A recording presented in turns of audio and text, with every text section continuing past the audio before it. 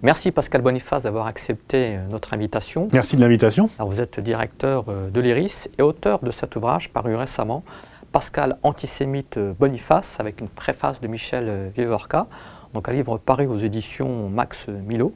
Et vous dites, dès le début de votre livre, hein, je vous cite à la page 17, vous dites qu'au-delà des relations privées, être considéré comme antisémite est très certainement le motif d'exclusion des sphères publiques le plus puissant en France. On ne sort jamais indemne d'une telle dénonciation, dites-vous. Alors, qui vous a accusé d'antisémitisme et pour quelles raisons exactement? Ah, ceux qui l'ont collé sont nombreux, mais la raison, tout part au départ euh, d'une note que je fais pour le Parti Socialiste, dont j'étais membre à l'époque, en disant que la position du PS sur le conflit israélo-palestinien n'était pas équilibrée et qu'on ne pouvait pas renvoyer dos à dos Israéliens et Palestiniens en disant qu'ils avaient chacun leur tort, qu'il y avait quand même un occupant et un occupé. Et je disais que sur tout autre conflit, le Parti Socialiste, qui faisait parti de gauche, n'aurait pas la même position. Je disais également qu'il fallait non pas jouer le poids des communautés, mais les principes universels, et que si on faisait jouer les poids des communautés, à terme, les juifs qui sont moins nombreux que les arabes seraient perdants, et donc il fallait vraiment jouer les les, problèmes, les principes universels. Et tout de suite, on a transformé ça en disant ah, il dit qu'il y a plus d'Arabes que de Juifs, donc il faut être pro-palestinien. Et disons, c'est tous ceux qui font de la défense d'Israël une obligation ardente, une priorité dans leur combat politique, au-delà de tout, qui ont essayé de me disqualifier en m'accolant effectivement l'étiquette d'antisémite. Alors vous écrivez que votre appréciation du conflit israélo-palestinien a plutôt évolué au cours de ces dernières années. Une appréciation, dites-vous, plutôt représentative de l'évolution générale de l'opinion française sur euh, ce conflit israélo-palestinien. Oui, je crois que je suis sur ce point comme la plupart de nos compatriotes. J'étais, quand j'étais adolescent ou jeune, très pro-israélien. C'était un peu l'image générale que le petit pays qui lutte contre les masses arabes qui veulent le détruire. Et puis ce petit pays qui lutte contre les masses arabes est devenu un pays puissant, puis est devenu un pays qui occupe un autre peuple et qui le réprime. Comme d'ailleurs le général de Gaulle l'avait euh, très bien annoncé dans sa fameuse conférence de presse de 67. Et donc effectivement, euh, je me suis devenu beaucoup plus critique du gouvernement gouvernement israélien. Non pas que je remette en cause l'existence d'Israël. Ce que je remets en cause, ce sont les frontières actuelles ou l'absence de frontières d'Israël et l'occupation d'un peuple par un autre. Et donc, effectivement, je crois que beaucoup de Français, d'ailleurs les, les enquêtes d'opinion le montrent, qui étaient très proches d'Israël auparavant, le sont moins du fait de l'occupation. Alors, vous avez même été attaqué au sein du conseil d'administration de l'ERIS, puisque certains membres ont demandé, ont réclamé votre révocation Oui, ça c'était en 2003. L'IRIS a failli disparaître parce que d'un certain côté, le CRIF envoyait des lettres à tous les ministères pour demander la fin des contrats à l'IRIS, que l'IRIS ne soit plus euh, euh, partenaire des différents ministères. Et il y avait aussi une campagne au sein du conseil d'administration pour demander ma révocation qui a été refusée.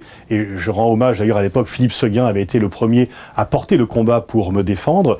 Mais de ce fait, euh, comme ils n'ont pas eu ma tête, une, le tiers des membres du CA euh, a démissionné et l'IRIS a vraiment failli disparaître à ce moment-là. On peut dire que et moi-même et l'IRIS sommes des survivants de cette époque. Alors votre famille également a eu à subir euh, des attaques face à ces accusations également?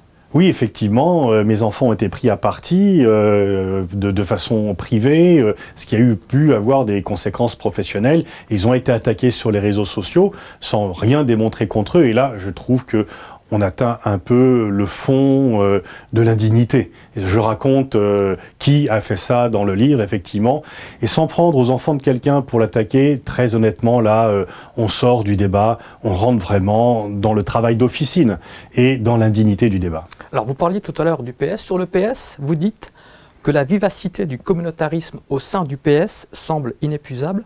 De quel communautarisme vous parlez exactement bah, C'est le communautarisme pro-israélien. Il, y, a, des juifs qui sont pour la paix au PS. Ce n'est pas les juifs du PS. les juifs sont très divisés sur cette question-là. Et d'ailleurs, beaucoup de juifs sont venus me soutenir, y compris d'ailleurs au PS. Je, me rappelle de Dreyfus Schmidt, je me rappelle de beaucoup de gens qui m'ont soutenu. Mais il y a des gens, il faut voir euh, ceux qui sont qui, font, qui ont pour priorité la protection d'Israël. Et c'est ceux-là qui sont gênés. Ils sont plus gênés encore s'ils sont de gauche. Parce que si vous êtes de droite, bah, vous n'êtes pas forcément gêné par l'occupation d'un peuple par un autre. Si vous êtes de gauche, c'est quand même un peu plus contradictoire avec les principes de droit des peuples à l'issue des mêmes. Certains OPS sont restés au fait au temps de la SFIO. Euh, Guy Mollet, euh, on fait la grande alliance avec Israël contre les Arabes. Et il y a une sorte de survivance de cela euh, dans la survivance du PS. Alors vous affirmez qu'il n'y a pas de lobby pro-palestinien en France. Il y a en revanche un lobby pro israélien. Et vous dites également qu'en France, on peut enquêter notamment sur les réseaux russes, mais jamais sur le réseau israélien en France. Oui, c'est tabou c'est tabou. Il faut distinguer, c'est pas des réseaux euh, juifs, c'est tout à fait différent. Dans les réseaux pro-israéliens, vous avez des gens qui sont de toute origine et qui vont peut-être certains par conviction, d'autres par opportunisme, euh, d'autres par lâcheté. Les, motivations sont directes, sont diverses. Mais effectivement, on a eu des tas de dossiers dans les journaux sur l'influence russe. Encore récemment, Marianne euh, faisait un dossier sur les réseaux marocains en France, comme si le Maroc avait une quelconque influence sur la politique française. Mais les réseaux d'influence d'Israël en France, avec euh, certains intellectuels, euh, la, pression sur les politiques, etc. Là, c'est tabou. C'est la force de ce lobby, c'est qu'on a, il est tellement puissant qu'on a même peur d'en parler. Alors vous concluez en rappelant que vous avez tenu bon et vous dites à ce sujet, je n'ai ni cédé aux sirènes de l'antisémitisme, ni celle de l'esprit courtisan. Oui, effectivement, j'ai été attaqué très durement, violemment, j'ai failli perdre mon boulot, etc., euh, pour, par le lobby pro-israélien. Euh, certains qui ont subi ces attaques sont devenus antisémites. Euh, et c'est très regrettable, c'est très dommage. Et d'autres, au contraire, qui ont subi ce type d'attaques, sont devenus ultra pro-israéliens euh, par opportunisme. Il y a un peu ces deux. Bon, moi non, je veux dire, je, je fais ce métier pour être libre, pour être digne, pour rester debout.